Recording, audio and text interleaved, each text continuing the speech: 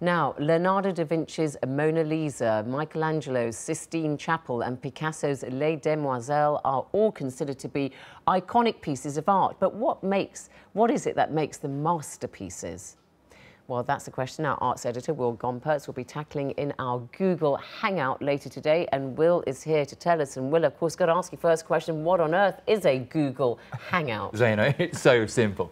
It's, it's like a web chat. Have you ever done FaceTime or anything like that, or Skype? Oh, don't ask me. Yeah. You know, it's, so it's, it's, a, it's a video camera embedded into a computer, which has somebody who can talk through and to somebody else with a video camera embedded in their computer. So that's a sort of a one-to-one -one experience. The Google Hangout just explodes that, so it's much more of a chat. It's sort of TV meets the internet. So I'm in a studio with three or four different people talking about iconic paintings, and then we have different people from around the world, which is quite fun, mm. contributing to that discussion. They're part of the programme for half an hour. That discussion. So what is the topic for today's discussion then? The topic is what happens when a work of art becomes so famous it becomes iconic. Can we still see it afresh? Or is there something that happens which means we can no longer appreciate it like we once would? There's a great story in this piece by an artist called Mat Collishaw, who was one of the young British artists.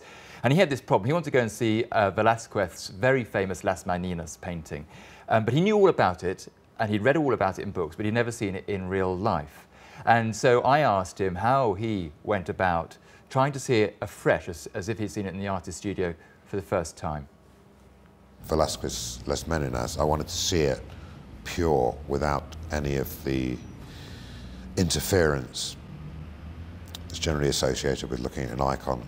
So I decided to fly blindfold to Prado Museum in Madrid to take my blindfold off for three minutes to uh, involve myself with this painting, to put the blindfold back on and travel back to my studio in London, having seen nothing else on my journey other than the inside of the frame of this icon. So, Zaina, very simple. If you want to get involved, go to our website at BBC News where you can watch it, or if you want to contribute, go to hashtag via Twitter, BBC Art Chat. I should do that right away, Will. Later. I look forward to it. Thanks very much indeed, Will Gompertz, there, our arts editor.